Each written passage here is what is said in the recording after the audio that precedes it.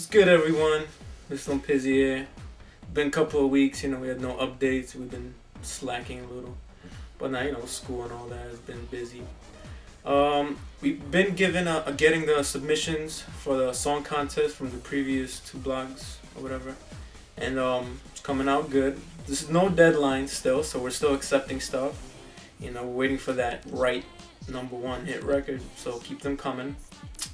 And finally, today we're gonna bring you the Ciara remix that we did.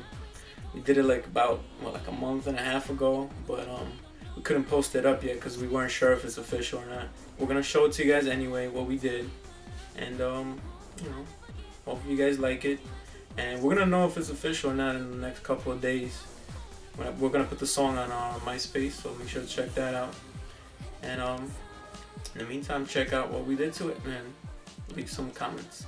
Take care, everyone. Peace out. Alright, start this off a little bass line. you know how to do.